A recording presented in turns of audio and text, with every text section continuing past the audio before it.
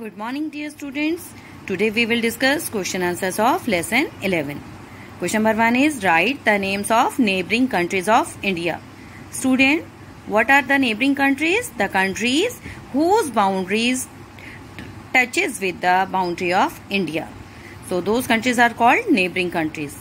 So names of neighboring countries Nepal, China, Sri Lanka, Bhutan, Pakistan, Bangladesh, Afghanistan and there are so many other countries like Myanmar and which is the neighboring country of India also. So this is all about the neighboring countries of India. Next, question number 2. What is the difference between weather and climate? So student, the difference between weather and climate.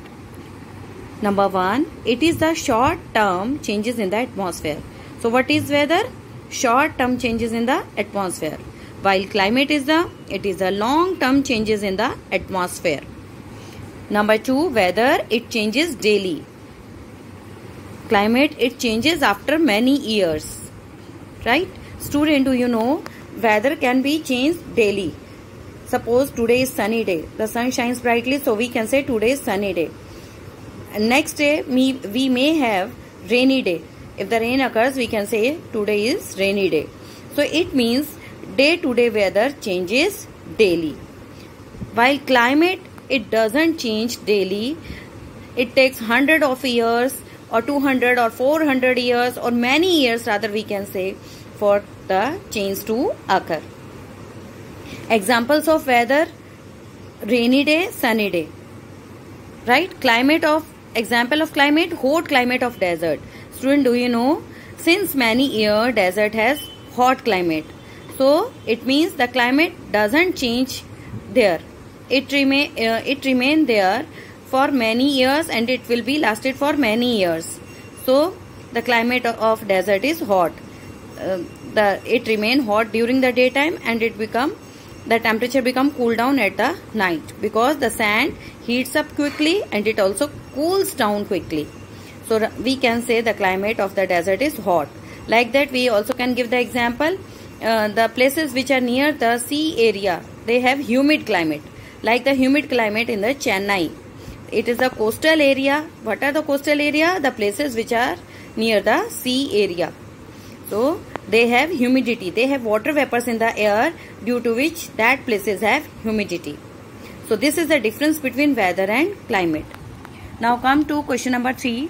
What are the main factors on which the climate of a place depend? So student, what are the factors? Uh, how we can decide this place has which type of climate. I have told you that desert has hot climate. I have told you the Chennai uh, has the, the coastal place. it has humid climate. So what are those factors which decide the climate of a place? Student number one amount of sunlight. Student the place which receives more amount of sunlight um, then that place has hot climate. Number two height above sea level. Student, the place uh, which is uh, quite high above the sea level that has cold climate like the mountain area. As we go up from the sea level, the temperature decreases and those places have less temperature uh, as compared to the places which are at the lower level. Those places have hot climate. Number 3. Distance from the equator. Student, equator is a line, imaginary line that passes from the center of the earth. You will learn it about in the fourth class when you read SS.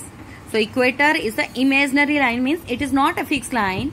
We just imagine it. It just passes from the center of the earth. So the places which are near the equator, those places have hot climate.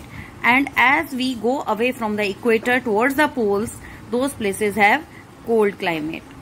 So the distance from equator also decide the climate of a place. Number 4 amount of rainfall. Student the places which have more amount of rain then those places have humid climate and the places which have less rainfall there the climate is quite dry and hot. So these are the factors which decide the climate of a place. Now question number 4 describe the winter season briefly. So student number 1 it starts from the middle of November and continue till February. So student, do you know in India the winter season it start from middle of November, mid of November and it continue till February. After February you have spring season. The winter season get over. Number 2. January is the coldest month. Student, do you know?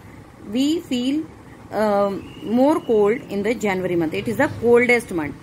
Number 3. Snowfall takes place in hilly areas. In hilly areas, the snowfall takes place during the winter season. Number 4. Nights are longer than days. Student, do you know?